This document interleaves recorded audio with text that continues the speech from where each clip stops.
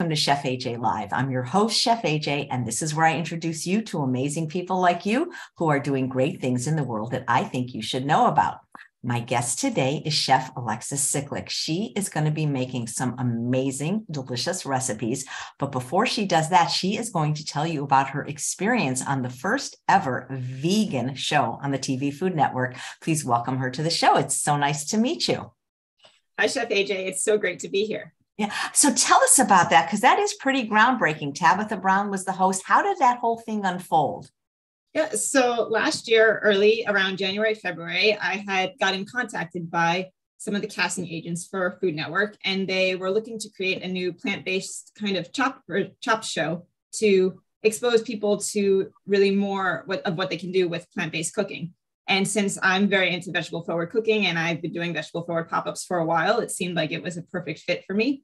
So I had to go through a little bit of a, an interview process and many phone calls and all that good stuff in order to get cast on the show. But eventually I made it and I partook in one episode. It was the premiere episode. And the show was structured like Chopped. So there were three rounds. For our episode, there was an appetizer, an entree, and a dessert. But for other episodes, there were different challenges for each round, but ours was themed dinner party. So we kind of had the basic structure of appetizer, entree, dessert. And with each challenge, we had to, or with each round, we had to come up with a recipe that catered not only to Tabitha Brown being vegan, but to specific guest judges' preferences.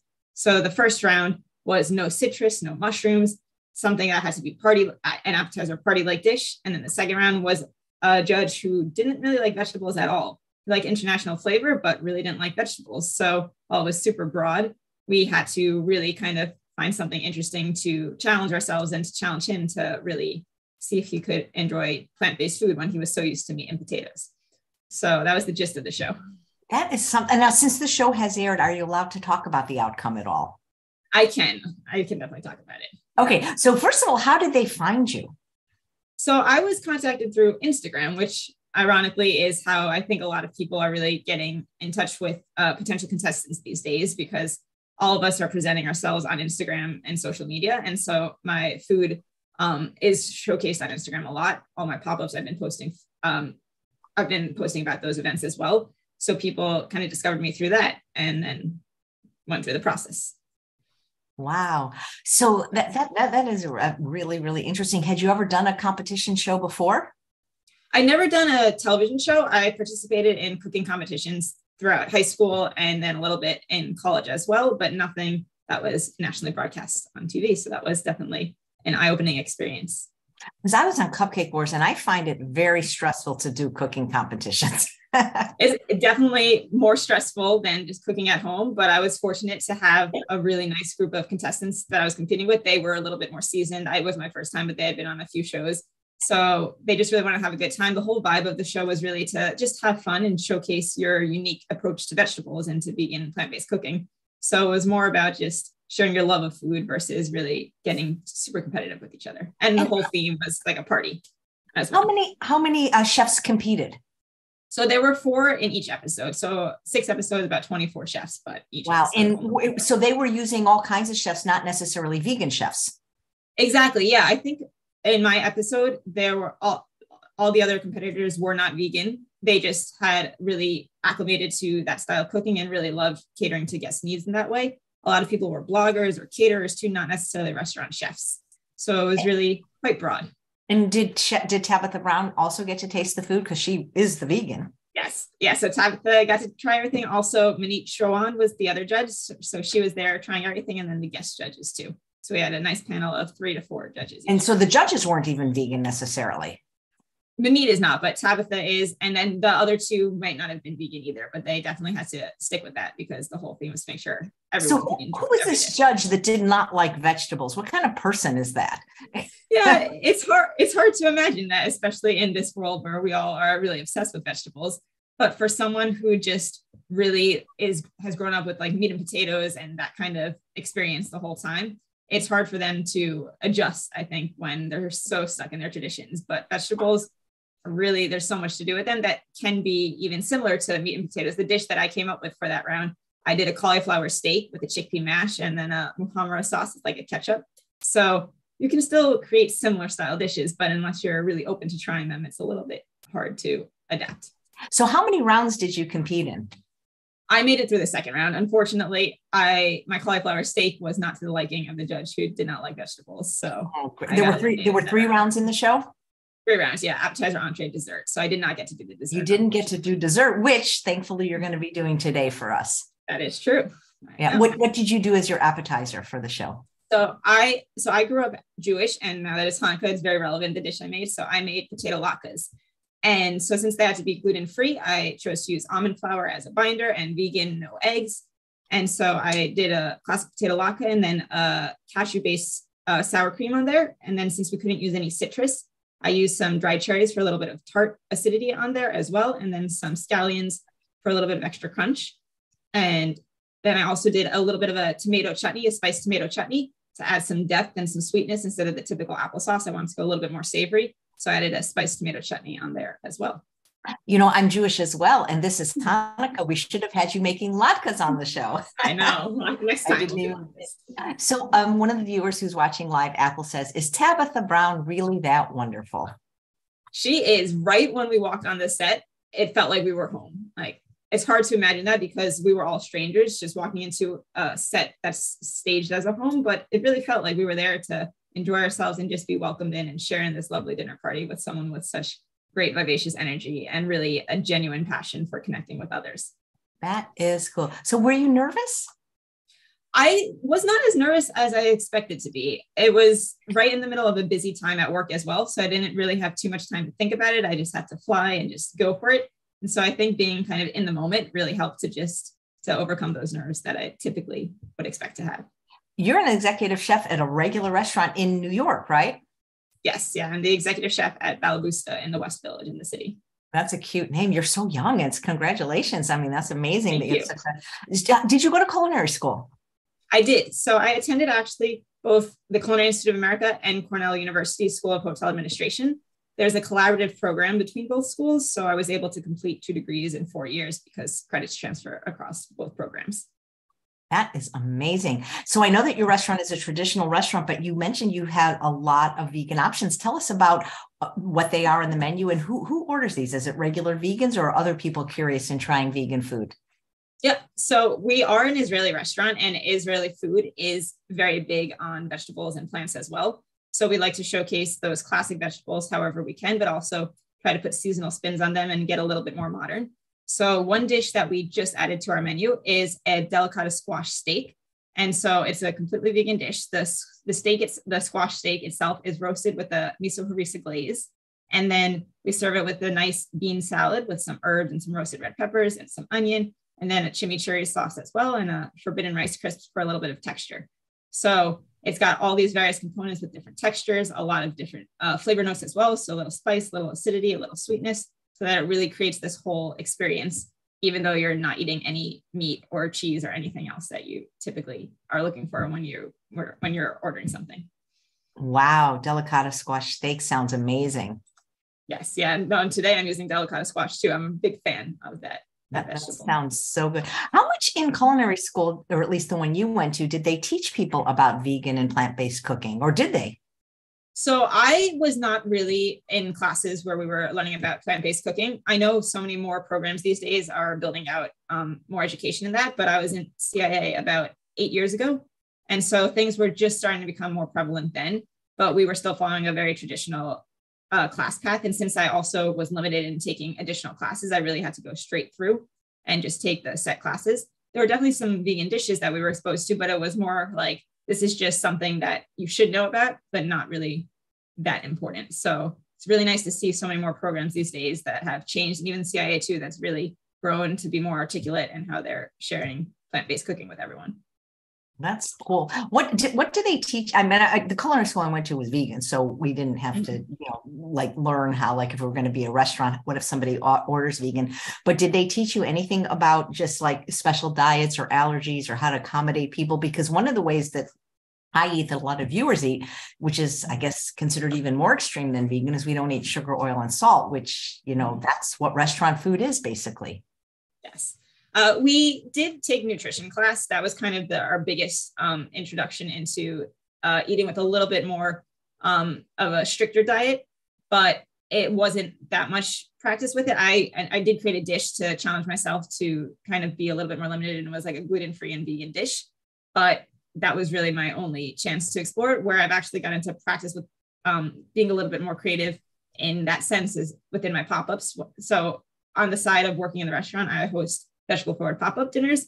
And I really want to accommodate as many guests as possible. So when they come in with certain allergies or restrictions, I really try to keep the integrity of my dish, but also change it so that they can come and still try everything as well without feeling like they're sacrificing or losing out on the experience of what I'm going for in the first place.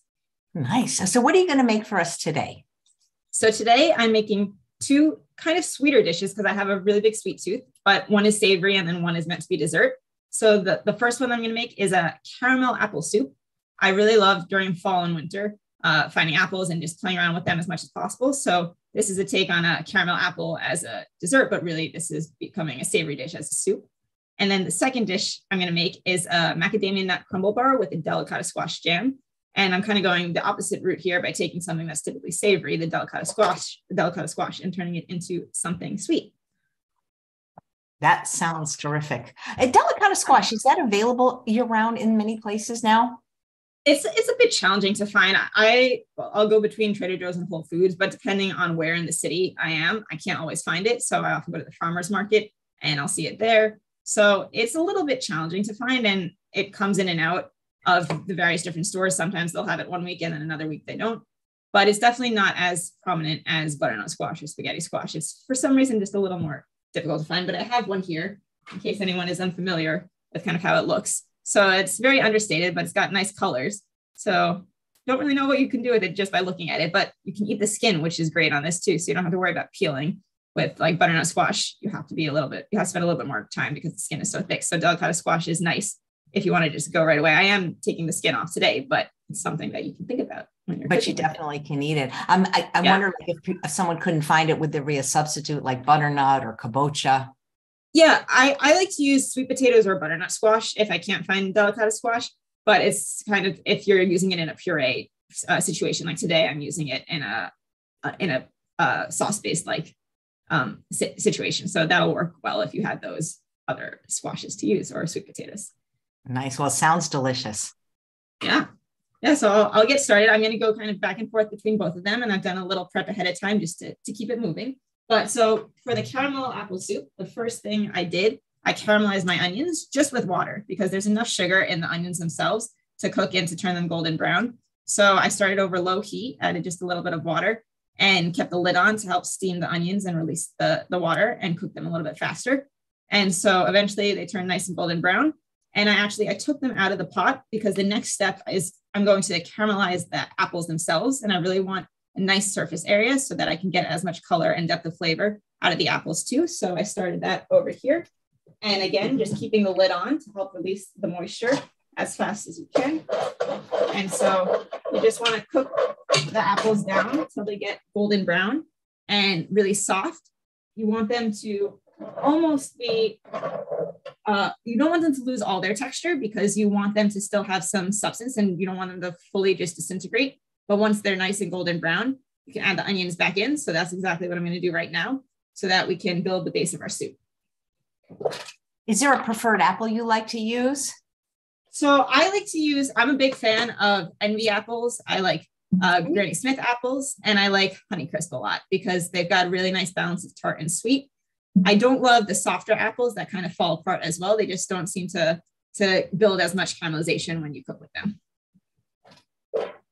Envy is my favorite apple.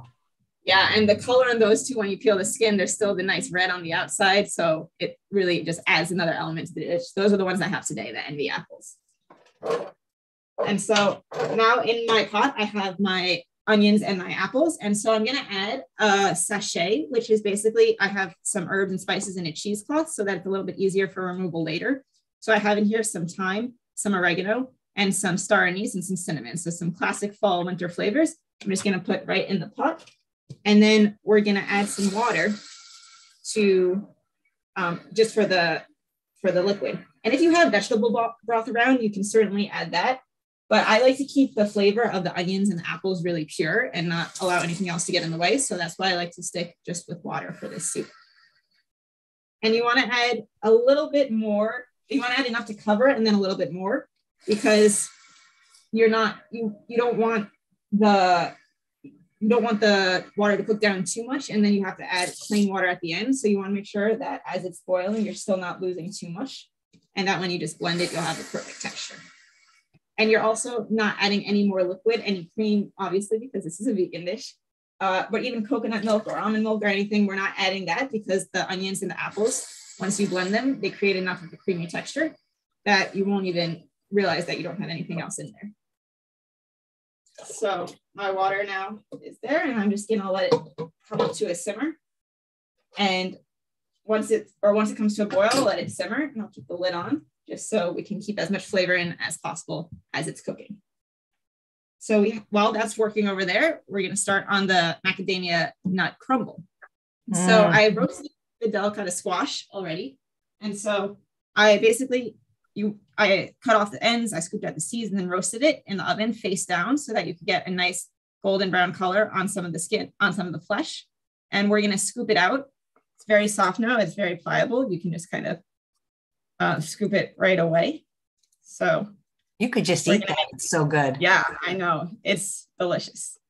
Super sweet, the little touch of nuttiness as well. So it's really yummy. So I'm just going to scoop that out and yeah, we're going to season it. I was going to say that's interesting that you're, you know, because a lot of times I, when I was a chef at a restaurant, I was a pastry chef, but it seems like a lot of chefs specialize either in desserts or more like entrees. It seems like you're able to do both. I definitely am more of a savory chef, but when I can, I like to play around with desserts too because I have such a sweet tooth. I really want to be able to, to cater for myself whenever I can. But it's also really useful to know different um, techniques as well because you can apply them in savory cooking or sweet cooking depending on what you're doing with either one. Nice. Yeah. So this filling, I'm just scooping it out and then we're going to season it up with some silan, which is date syrup. And you can either make your own or you can buy that. They sell it at Trader Joe's now. But it's a really nice natural sweetener. And it's never too overpowering either. It's got a nice rich color and a lot of depth of flavor. I love date syrup. Do you have a preferred brand?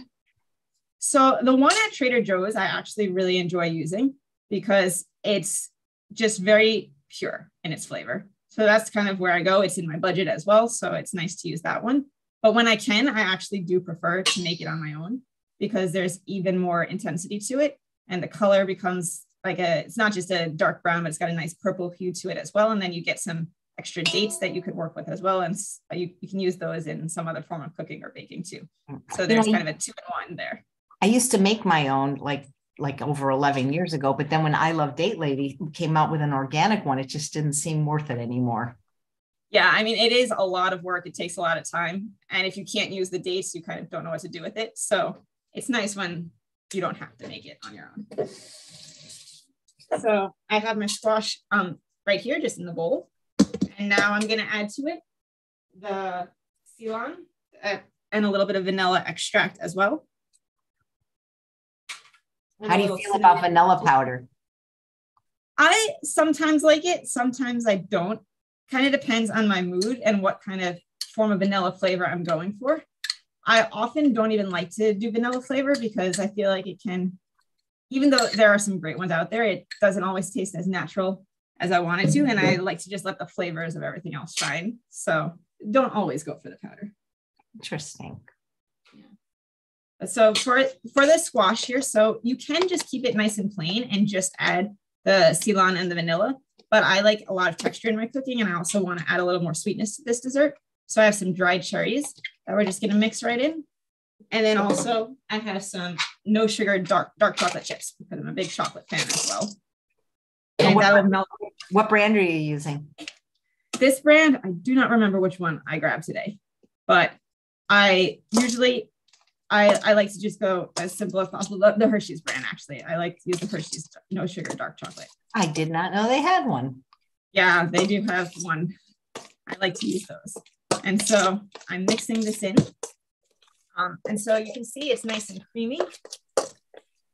Here, the angle is not so great, but it's got a nice purple color now from the date syrup. And we're just gonna mix this and set it aside because maybe lower your camera just a little bit because ah, yeah, it's cutting it's cutting it off. Thanks. Yeah. yeah, perfect. Oh, beautiful. So, yeah, so the date syrup really turns it into this beautiful purple color.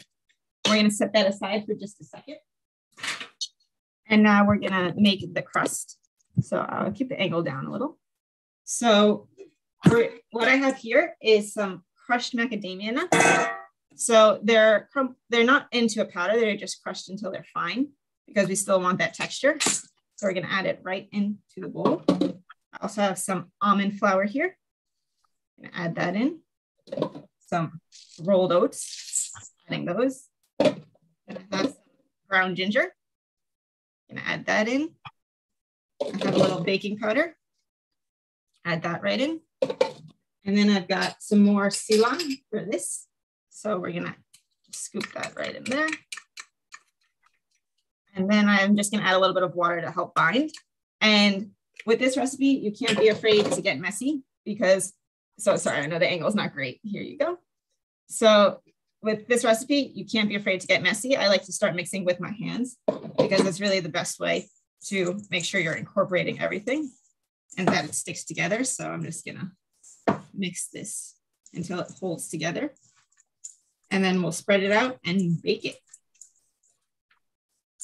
And with this too, if you aren't a huge fan of ginger, you could add various different spices. I like to work with cinnamon and coriander a lot, so those would definitely go well in this. And it's not too messy. It's not, it's just sticky enough. But if you have children and you want them to be involved in the baking, this is definitely a great recipe for them to participate in. So it's pretty much, it holds together now and I'm gonna line it in a baking pan. So. You mentioned in your recipe, which guy, by the way, guys, I'm putting in the show notes now, uh, an onion called cipollini. I don't think I've heard yes. of that. What is it? How is it different? Is it is it necessary? Is it better? So you don't need cipollini for this um, for the soup, but I like them for pickling because they're nice and small and they're easy to work with and just cut into pieces. So for for the soup for the garnish, I wanted something that was easy. So cipollinis, they're round and flat and they're nice and sweet as well. So going with that same sweet flavor profile, I thought it'd be a good addition. But if you don't have cipollinis, you can certainly work with uh, sweet onions, Vidalia onions, like white onions, those classic ones. You could even use red onions as well. They're just going to add a little a little bit of a different flavor note to it. You could add shallots too. Any onion works. It's just, I wanted to bring out that onion flavor because it's a caramel, apple, and onion soup. Yeah. So I'm gonna go back to um, the, the crumble now. And so I have just a parchment lined baking sheet right here. I will lower the camera again. And so we're gonna spread not all of the crumble on the bottom, but maybe two thirds of it because we still want to have a little on the top. And this is just an eight by eight baking pan here. And you want a nice layer on the bottom. Spread. And again, working with your hands is the easiest way.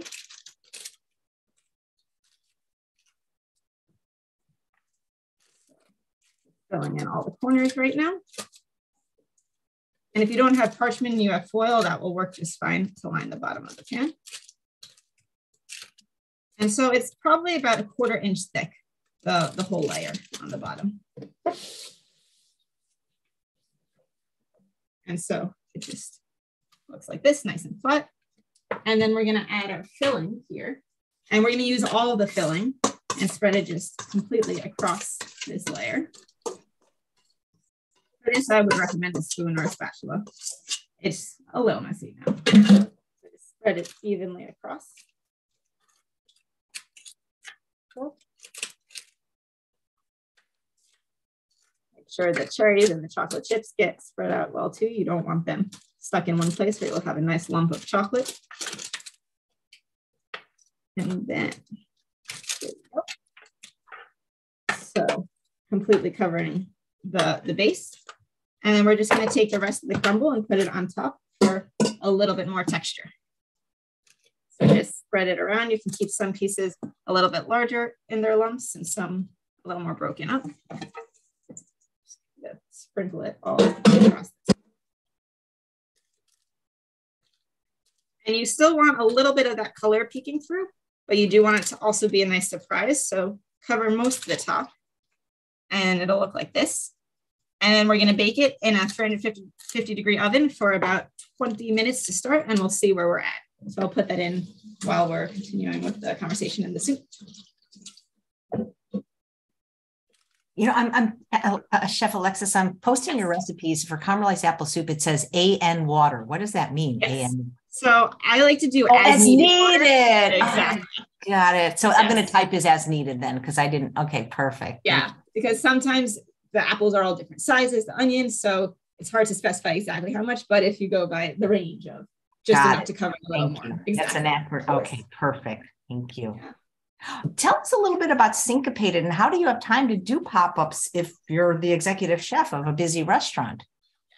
So I have not been doing as many pop-ups lately because I am in this new role. But when I was still a sous chef, it was a lot easier to find a little bit of extra time. But I really like to, to challenge myself and to, to explore um, different ingredients and spices and flavor profiles and themes on my own and present myself as much as possible out there. So I took the time to create this brand of Syncopated, which not only focuses on my love of cooking, but also my love of dancing and drumming. I grew up at, in a very artsy world and that this the idea of syncopation and just kind of being creative and a little bit offbeat here and there is something that really inspired me in my dancing and my drumming and so i thought it was a perfect way to tie into my style of cooking where i like to be a little out there with vegetables and spices and kind of combining different things that you wouldn't necessarily expect and then sharing them in a way that's definitely approachable but also exposing you to something entirely new at the same time Wow, I knew you were a dancer because you wrote a book uh, uh, called A Taste of the Nutcracker, where you combined your love of cooking and dancing, but I had no idea you were a drummer. Yes, I don't do it as much these days now, but I grew up, I was playing uh, in a jazz band. I was in a band at school as well with my friends. And I, I bought a cajon recently, so I can still practice in a New York friendly, a New York City apartment a friendly way. It's not too noisy. So I really like to tap into exploring rhythms and all that. I like to tap dance as well. So that love of musicality and rhythms is always there. Nice. Did you always want to be a chef? I did. My mom grew up in the hospitality world and she was always into traveling and sales and marketing, just a love of cooking and food. And at a young age, I got an easy bake oven, kind of fell in love with that from the start.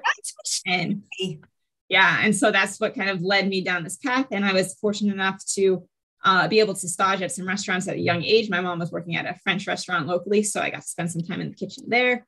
I spent time at a local hotel and eventually attended a vocational program as my vocational culinary program for high school. So I really was able to get in, get my foot in the door, and really get some great exposure while growing up and still trying to figure everything out. Wow, that's amazing because you're you've got your I mean you're young, you've got a whole huge who knows your future ahead of you. You know, you might want to tell the story about how you got to be on the show because 99% of the time a guest is referred by another guest, but you came in through a different channel. Your dad actually wrote us.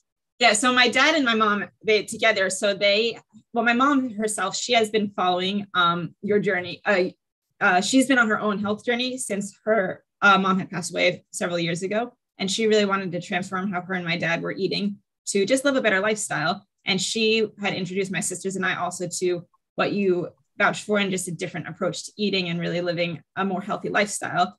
And so she's been sharing with us a ton of your information, and her and my dad have connected as well over um, different recipes that you have and different guests, and really just opening ourselves up to a whole new world of eating.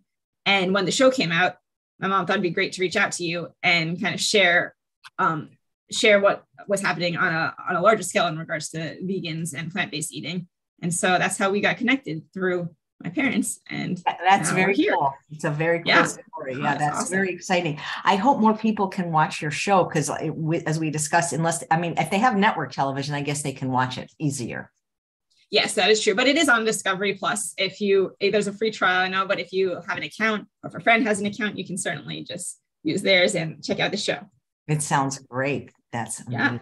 Yeah. um, Other than the book that you have now, do you ever think you'll write like a, a book of all your recipes?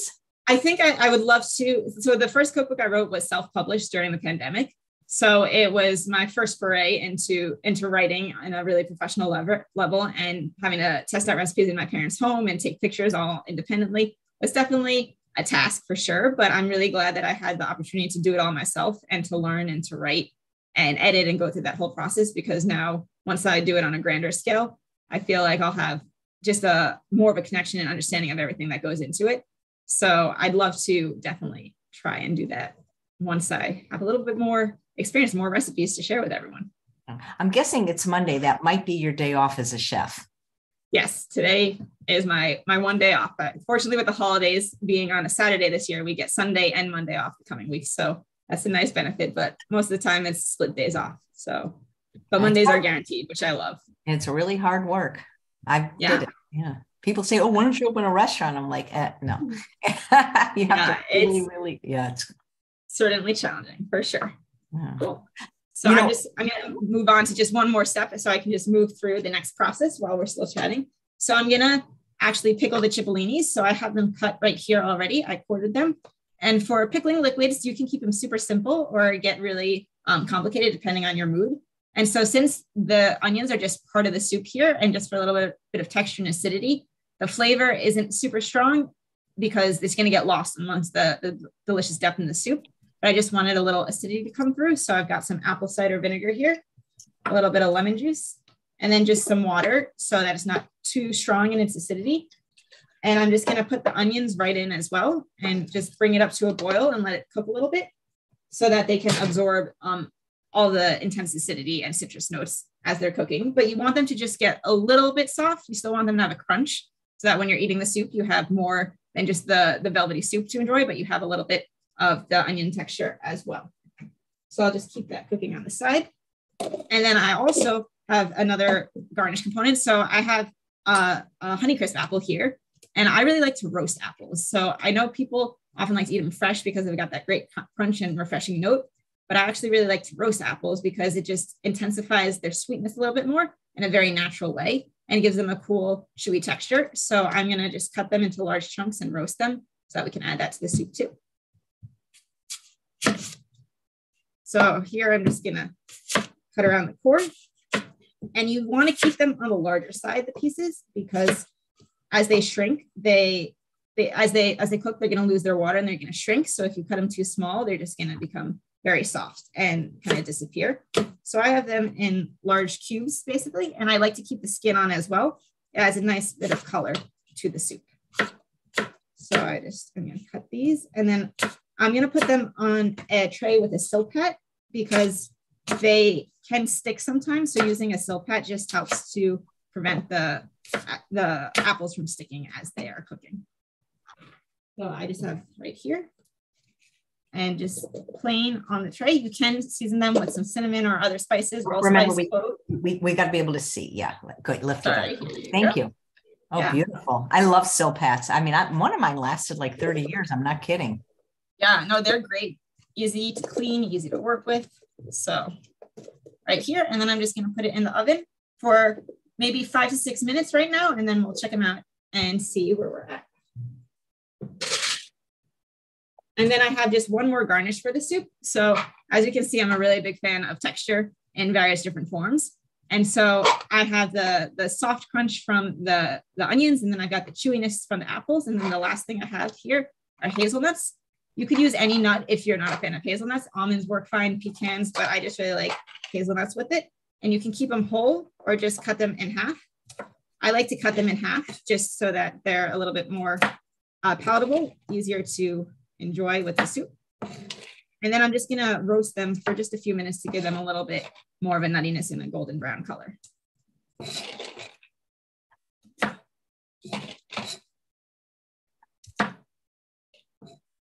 Yeah. And so the soup is now, it's definitely at a simmer, uh, at a boil. So I'm to lower it and we'll just let it simmer. And it's basically almost done once we, once it's cooked for about a half hour, 45 minutes. We'll take out the sachet. We want to make sure we don't blend in that cheesecloth and the cinnamon sticks and everything. And we'll just blend it to finish and then top it with all the garnishes. So very easy to get done in a quick amount of time.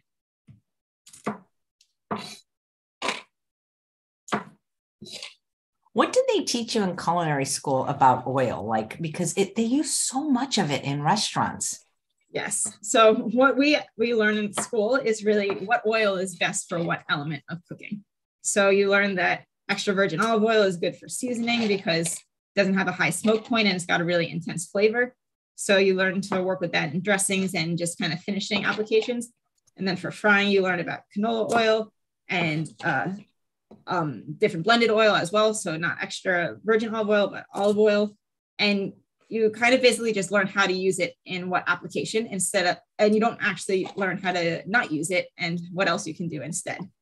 So it's basically like what works best with what oil so that you're as familiar as possible with applying it versus not applying it. Interesting. what do they teach you about salt? Salt is very much, again, how to use salt in the best way to enhance flavor. I've learned as I've worked um, over the years and developed my own style of cooking that salt, while definitely can bring out flavors, it often covers up flavors as well. Whether or not you're using a good amount or too much, it often takes away from the natural elements and natural flavors that you're trying to highlight. So you learn that there's obviously like kosher salt is very popular. There's Maldon salt, which is often used as a finishing salt because it's got a nice flaky texture. That is just a little bit of that uh, briny note to finish at the end. But that's all about how the salt enhances the dish versus how the, the natural elements of the vegetables and the flavors and or whatever else fruits and legumes and anything else that you're working with. You can still use those and different combinations to really enhance a flavor note just in a different way, maybe. But we're taught to, to apply salt in as many ways as possible. That makes the most sense. Yeah. Which obviously is not what we're doing here in this situation. Right. Yeah. I, I, think this concept of not cooking with sugar, oil, salt to most restaurants and chefs is just very uh, bizarre. Yes, it is. And those ingredients are also very cheap. So they're very fast ways to enhance. Here's obviously olive oil and refined oils can certainly cost more because there's a lot more involved in that but the, the classic blends of oils are all very accessible and they make it that way so that you're enticed to use it a little bit more as well too. Yeah. There's only a couple of restaurants, at least that I am aware of in the United States that don't cook with sugar, oil, salt.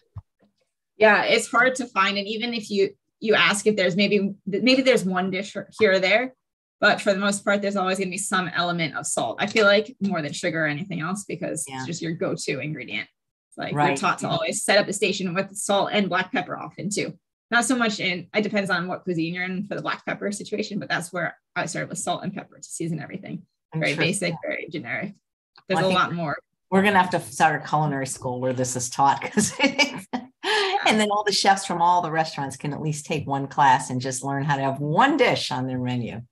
Yeah, no, and I'm very fortunate to work at uh, an Israeli restaurant where spices are super prevalent. And for me, that's great because I, I always like working with spices, but because they can enhance a dish in so many different ways. There's so many unique combinations. They're also very vibrant in color. So you can really transform a dish with spices and really develop uh, layers of flavor that you might not expect, especially with different peppers and heats and things like that, and the intensities of bitterness and sweetness too within spices. So there's a lot to work with there, which is very cool. Yeah. Do you, do you find like as a chef you like you're you're always tasting your food all day is that hard because that like as a pastry chef you don't have to do that because you know you're basically replicating the same thing and it's pretty foolproof you know like when you're following a, a dessert recipe but with with you know i mean that would drive me crazy to have to do that all day. Yeah it's definitely it can become overwhelming sometimes and just kind of numbing for the palate in a sense because you're tasting often so many things so often. But it's really important to especially in a restaurant setting if you want to keep things consistent because even if you have standardized recipes sometimes the one, one chef might cook something a little bit different or they might measure something a little bit different one day. The ingredient itself might not always be perfect either and consistent. So you always have to trust your taste buds more than anything because even if something looks right it might be spoils or even if it's a finished product too you have to verify that it hasn't gone bad or anything so you constantly have to to do that extra step. But if you love eating and cooking, it's yeah. it's enjoyable because you just get to try all those amazing flavors all the time. I love that. Trust your taste buds. Yeah. yeah I always like to teach my cooks to trust their gut in regards to just cooking and their minds um, and using their, their inspiration and their intuition when they're getting creative. But trusting your taste buds is the same thing because if you don't trust your gut, you got to try it. And then you'll, you'll be able to know a little bit more about what's going on. Yeah. Well, trusting you're to, I don't think chefs should smoke because the, uh, the, two chefs that I've known in my whole life that smoked, their food, uh, all you could taste was black pepper because I think that their taste buds were numbed from smoking, that they couldn't yes. taste correctly. And I remember these two chefs in my life, and it's like, all I taste is black pepper. It just tastes terrible. Mm-hmm. Yeah. No, I, smoking for sure can, can mute the palate in different ways. Especially when you're in a place that has so, such vibrant flavors like ours too. Like it's really important to have a, a clean, a clean sense of understanding of what you're enjoying because those the, the spices are so nuanced in the levels of heat as well. Because we have we have numerous sauces that might be all be red and have different le- levels of spice and um, a little bit of nuttiness or something else here and there. But if you just look at them, they kind of look the same. So you really have to be able to, to understand what each one has going on and be able to uh, experience that on your own to know what's making each dish work. Yeah. Do you have a favorite chef movie? Honestly, I'm a big fan of Ratatouille. That's my That's favorite movie of all one time. One of my favorites. Oh my god, I have a display of that is hilarious. Yeah, I, love I am so being in New York and with rats and mice definitely very prevalent in the city. It's ironic that I love that kind of a movie, but it's just really well done and it's really um really cathartic in some ways because it's just it goes through a lot of the emotions of a chef, but it's also really playful and familiar. But I'm also a big fan of the Hundred Foot Journey. I think that one's on a completely different level of. I mean, Ratatouille is obviously about a professional chef, but it's animated, so it's less. It's got a different structure than Hundred Foot Journey, which really takes you on this emotional journey, and got some incredible actors in there and some beautiful scenery. So the whole experience of that movie and the delicious food they create really something that was really memorable and inspiring to me. Nice. What do you think of people that salt their food before they even taste it? That is something that that I really am not a fan of. I hate when, when we're making family meal or even when I'm at a restaurant and people they just they know they expect that they want salt before they even know what it tastes like. And yes, there's often times that people under season and they're familiar with how uh, how a chef cooks, but the like we're we talked about before, salt necessarily isn't the flavor that you want to showcase. So if you cover it with salt, then you're not going to taste what's lying underneath, or you're going to just kind of ruin the dish sometimes. So Thank it's not you. something I enjoy. Thank yeah, you. No, it's all about trusting the taste buds and tasting all the time. You have to start with tasting. You can never assume. That Maybe that could be the name of your next book. Trust the taste buds. Yeah, it's not a bad idea at all. Yeah, yeah. nice. Yeah, I'm gonna I'm gonna check my my things in the oven while we're still talking. I hope your parents are watching since they're the ones that uh, recommended you. Yes, I know my mom is. My dad is at work, but I'm sure he'll check it out later. oh, Mrs. Sicklick, you have a lovely daughter. We've got just a few more minutes left on everything that's in the oven, and the onions have been cooking for a little while. So I'm gonna let them just uh, cool for a little bit. I'm gonna take them out of the liquid and just let them cool while we're um, finishing up the soup and everything else. So you you are you have a very lean physique. Is that from your history as a dancer? Because isn't it hard sometimes as a chef to to maintain leanness? So it is definitely challenging, especially when you're surrounded by, by a lot of sugar and salt and fat. But I, I am very big on working out and dancing still when I can. So I prioritize that for sure. To, to not just to be able to eat a variety of things, but also just to feel really good and be in shape. A kitchen is a very challenging environment and you have to be very physically capable to to um, just to move around well, to to work with your coworkers. We go up and down stairs a lot, but also just to handle the heat, basically. Well, that's where they get the saying: if you can't stand the heat, get out of the kitchen. exactly. It's it has so many different levels to it, but it's really true. It just there's so much going on. You got to stay hydrated too, drink a lot of water. So many normal elements of of living your best life really come into play in the kitchen because you're in high pressure all the time. So you really need to take care of yourself in order to, to be able to take care of everyone else. Yeah. You seem like you're not the kind of uh, executive chef that yells at her employees like some other chefs who we won't mention. Mm-hmm. Yes, that is very true. I really like to, to be a chef that can relate to my cooks and to really set a, a strong example of running a kitchen in a, in a positive way, an optimistic way, but also in a really creating a strong family vibe and a team effort too.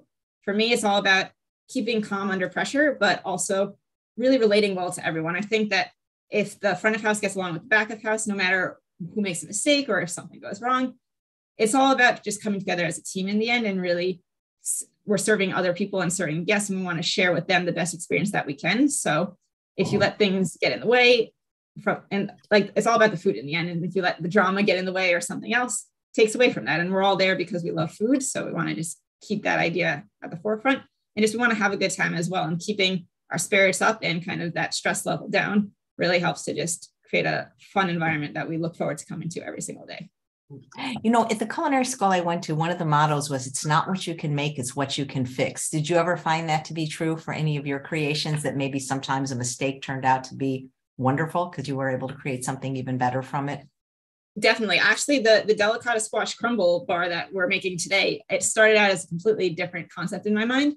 I wanted to make, I think it was like a, a jam cookie. I was trying to make the, the filling as like a jam and then do a cookie base, but I couldn't get the right type of ingredients. And I wanted it to be gluten free and nut free as well. It was inspired by one of the recipes, or this was for one of the recipes in the cookbook. And so I needed to be something that could be replicated by other people as well. And I just couldn't get a good base. So I, it was late, late at night. I just kind of sat down with my mom. I was trying to brainstorm and figure it out. We talked it through and I was like, you know what? Let's just try this crumble bar. Turned out to be one of the best ideas I had. And I use this dessert all the time. So you kind of have to t- just go with the flow too. And same thing kind of in service. I keep that same mentality, go with the flow and just move through everything. No obstacle is too large if you just stay positive and keep a smile and just try to try to work through anything. That's great. Here's a wonderful question from Susanna, a live viewer. What is your process for creating a new recipe? And are there any suggestions for us non chefs to do that? Yeah. So, my process is really to get inspired by my surroundings.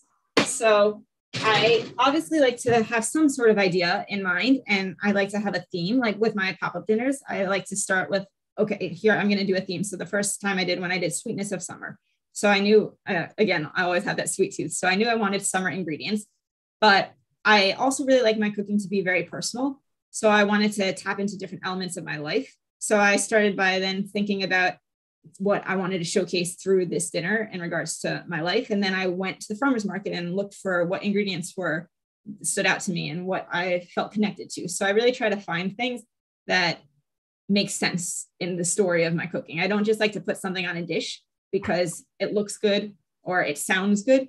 I want every component to have meaning and also for me to be as personal as possible. But when I'm at the restaurant and I'm creating, not I'm still creating in a personal way, but I'm creating for a broader audience and working with a, a chef owner as well. So we have more people involved.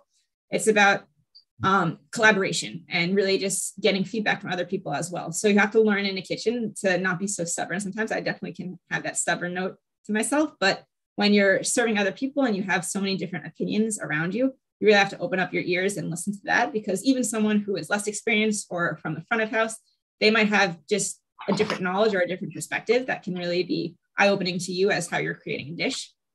So while you certainly, or for me, I really want something to be my own sometimes, but it can be even better if you just take it, take time to, to get a little bit more feedback and create something that's bigger than yourself in the end. Nice. Yeah. Yes. So I'm going to take my apples out. I think they're almost there. So they look pretty much the same. They're not going to get much color, but you just want it when you feel them, you just want them to have a little bit of a give.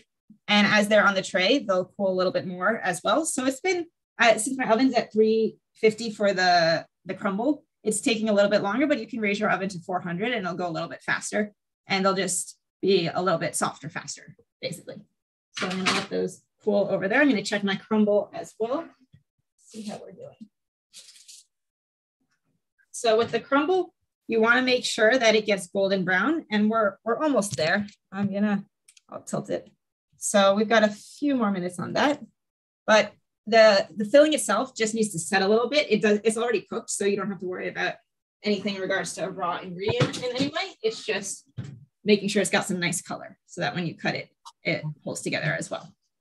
This might not be true at your restaurant, being an Israeli restaurant, but like in more of a standard restaurant, it's so hard to get enough vegetables for people that mm-hmm. you know like like so in my world like i eat vegetables twice a day and i eat a pound and it's not as much food as you think especially you know like when when i roast brussels sprouts and a pound it's like this much food. It's not an egregious amount of food. But when you go to a restaurant and say order like an order of asparagus it's like three spears or six spears. Mm-hmm. How is that a serving yeah it's definitely not. And it's funny too because vegetables are not super expensive. Yes they can be depending on where you're sourcing them from and organic often does cost more. But in the end animal proteins tend to be a, a, higher price range and people expect them to be higher as well and they expect to pay more for them.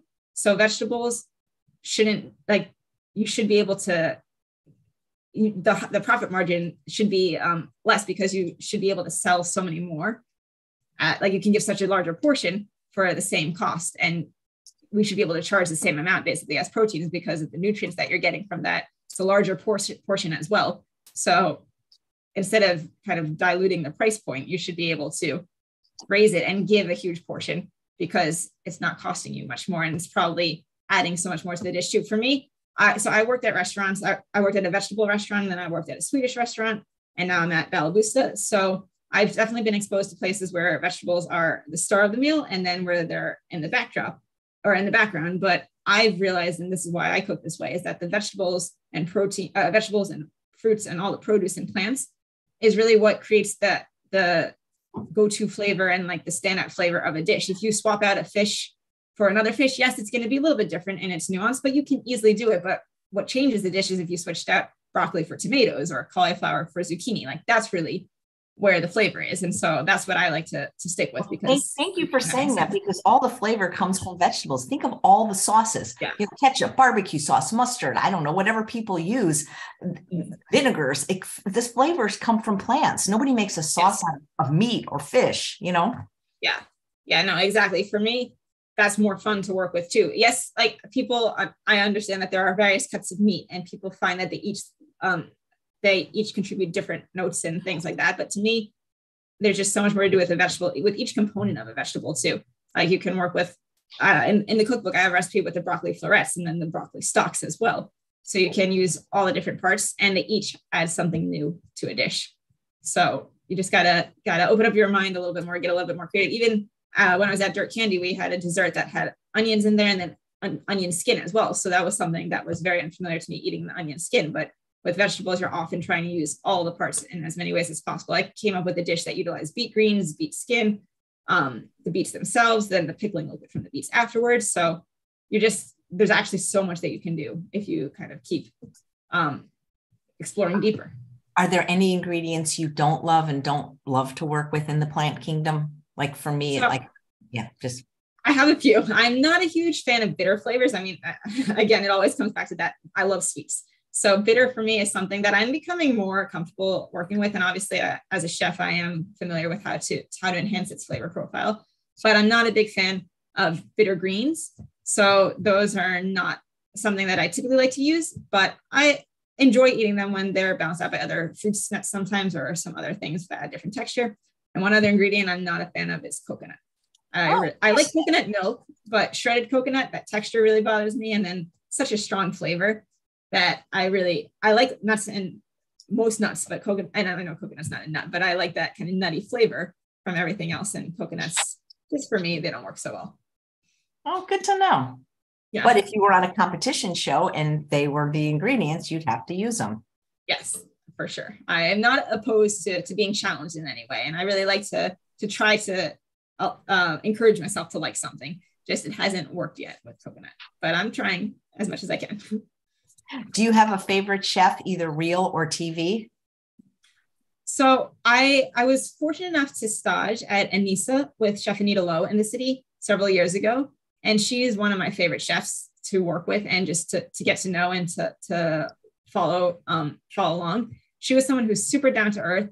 Her restaurant was very similar to something that I hope to I aspire to, to create one day. It was a small restaurant in the West Village. It was refined, but very personalized, and each dish told a real story. It was a small kitchen. She was present a lot of the time, and she never wanted to lose sight of what that restaurant was. She didn't have a whole empire restaurant. She really had Annisa as her focus and did as much as she could to really make that something beautiful. And just the playfulness of it, too, I really liked because she was a savory chef, but then also had desserts in the menu, too. And nothing was out of the ordinary or um, too too technical anyway. It was just really well done and really refined and flavor and concept and really homey in its overall um, impact on you as well.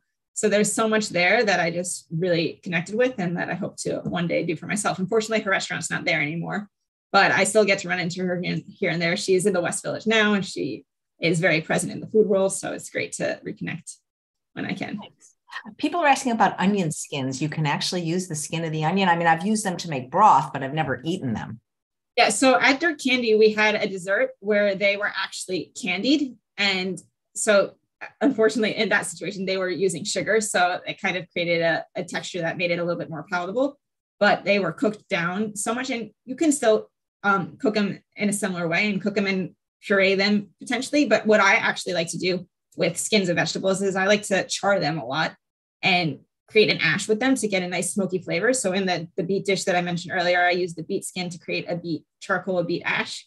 And then same with onion skins. I like to, to cook it really high temperature to burn it basically. And there'll still be a hint of maybe the beet or the onion flavor in there, but it really just creates a nice smokiness and char that you can use as a color or just to add a little bit um, of a different kind of flavor to a dish. Nice. What three plant ingredients will we always find in Chef Alexis's refrigerator? So I would like to say that I am a big fan of cauliflower, though I did not go so well on the show. I really do like cauliflower because you can, it's got some sweet notes to it. So I love to caramelize cauliflower and create a nice puree with it. I love to roast it, season it with some lemon, um, some, some pine nuts as well. So actually, Meyer lemon, I would say I've seasoned with Meyer lemon, and Meyer lemon is another ingredient that I love to have when it's in season. It's a little bit more floral in its citrus notes and not as uh, not as pungent.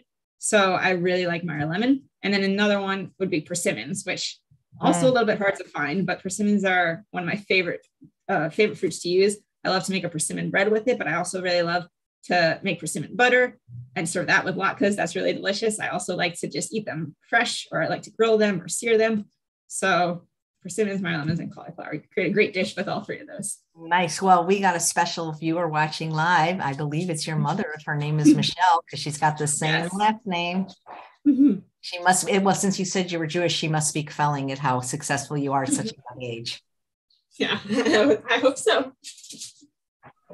Here, so I'm just I'm going to take out my crumble now because it's all done. So it's basically got a nice golden brown color here. It smells delicious. I wish I could share it with you. Me and too. So, That's amazing.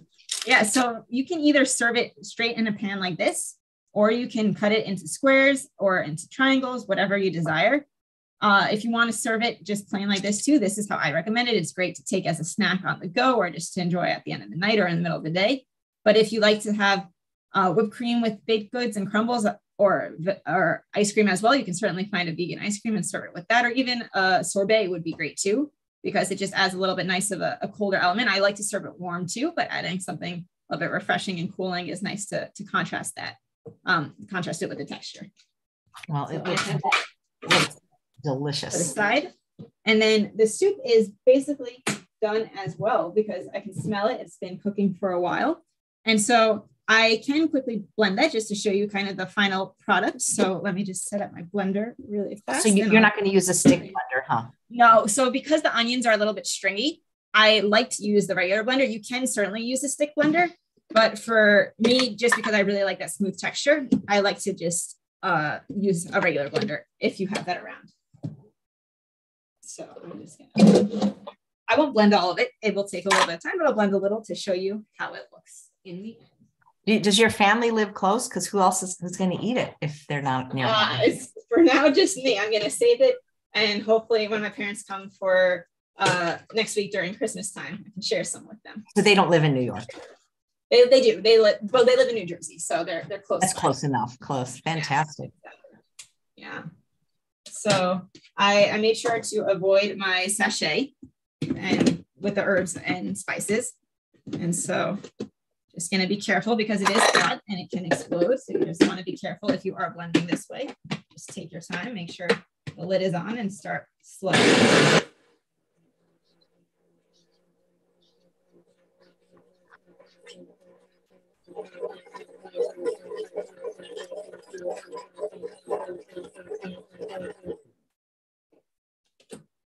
Okay.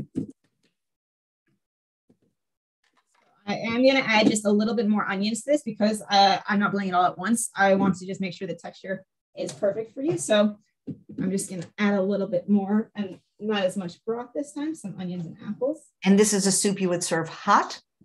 Yes, I would definitely serve it hot. So yeah, the base really does come from the the apples and the onions, the like the, the structure of the soup. So you want to make sure you're blending all those guys in. And again, just be careful that it's hot. Get it on my blender.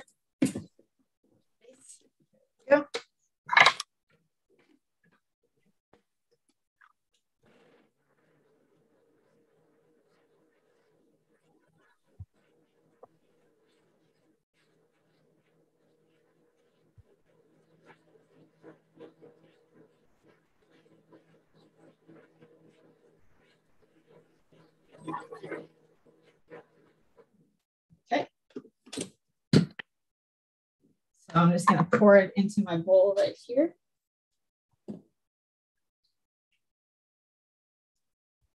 And so it smells like fall and autumn here. So it's a little bit hard to, to see, but it's nice and creamy and velvety. And then I'm just going to top it with the nuts and the apples and the cipollini onions, and that's it. So just kind of incorporate them right into the soup itself. And then I'll try to show you the finished product. Somebody's asking if the soup will thicken over time. So it will set up a little bit more once it gets cold. So you can always add a little bit more liquid. So, or just a little bit more water. You could even add a little bit of apple juice if you want to just keep that apple intense flavor there so that you don't lose anything. When it's hot right now, it's not going to be as thick as once it sets up. So keep that in mind too. If you like your soups, if you like to eat them cold, you might want to uh, add a little less water, or you might want to add a little bit more water in the beginning so that once it sets up, it's at a, the right texture if you don't want it to be too thick and like a puree, you want it to still be soupy. So let's see, this is my final product right here. So you can see the garnish is floating on top. It's got a golden brown color and it smells like the season for sure. Yum. Well, that that's delicious. Yeah. So yeah, exactly. You can enjoy both these dishes too in this in the same meal. They've they've got very complementary flavor profiles. So start with the soup, finish it up with the dessert. I know so many chefs because of you know the complexity of their jobs that like sometimes on the day off they just want to eat a bowl of cereal. Mm-hmm. Yeah, I definitely can go to that sometimes, but it's really nice to have like something like this is so easy to make too. If you make it in bulk and just store it in the freezer, which sometimes I try to remember to do when I have a little extra energy on a day off it's really nice to, to feel nourished by your own flavors as well instead of not taking care of yourself on a day off. I am very guilty of doing that. I'll order takeout a lot. I'll be super lazy, but doing something like this is so satisfying. And when you're doing it for yourself, sometimes, like sometimes in a kitchen, you get a little bit lost amongst everything, especially as an executive chef. Now you're running a, a whole operation. So you miss out on kind of the joys of the and intricacies of just cooking something delicious and beautiful and getting to experience it when it's warm, when it's ready to eat and at the right time. So it's nice to take a little bit extra time to replenish your energy on a day off for sure. Very cool. This is a wonderful presentation. And how can people get to know you more and follow you more? Yeah, so you can find me on Instagram. My handle is at CHEF Chef and then Leci, L E C I, a nickname from growing up years ago. And you can also find me at my website, www.syncopatednyc.com. And if you're in New York City, you can certainly stop by Balaboosta. Uh, it's on West 12th and Hudson Street. I'm there almost every day. We're closed on Mondays, but you can often find me there every other day of the week. That's a fun name for a restaurant. Well, thank you, Chef Alexis. Yes, thank you so much. It's been such a joy being here and sharing my story with you. Yeah, you did a wonderful job. And thank you, uh, mom and dad, for referring your lovely daughter to the show. And thanks all of you, the viewers, for watching another episode of Chef AJ Live. The show will be one hour earlier tomorrow at 10 a.m. Pacific time. And my guest is the author of The Hungry Brain, Dr. Steph.